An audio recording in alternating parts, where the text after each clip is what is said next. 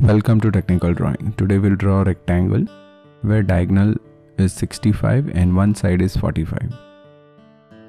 So what we will do first we will draw side 45.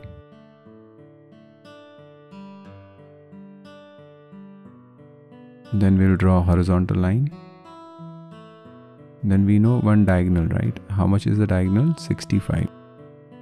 See, this is 45.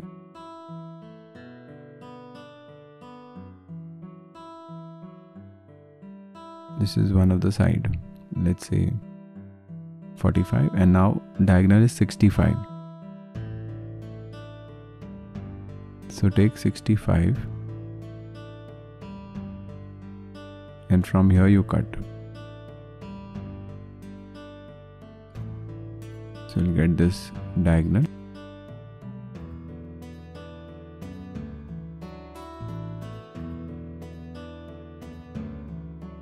Now after that you draw a vertical line from here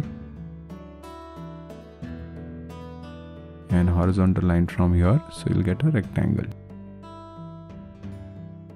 So we are done with required rectangle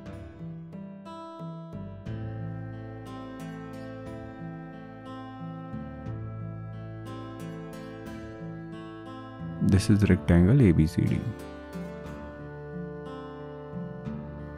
Now we'll see square of diagonal 55.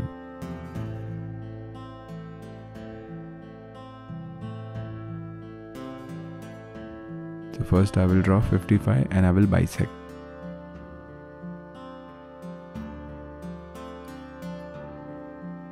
So half of 55 would be how much? 27.5. So we'll take 27.5, 27.5 on both the sides. So you can draw line 55 and you can bisect. You'll get point O.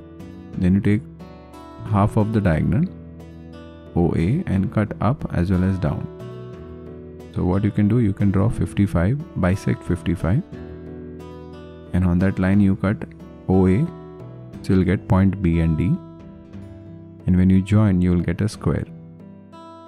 So this is how you can draw when you know diagonal of a square which is which is 55 so both the diagonals will be same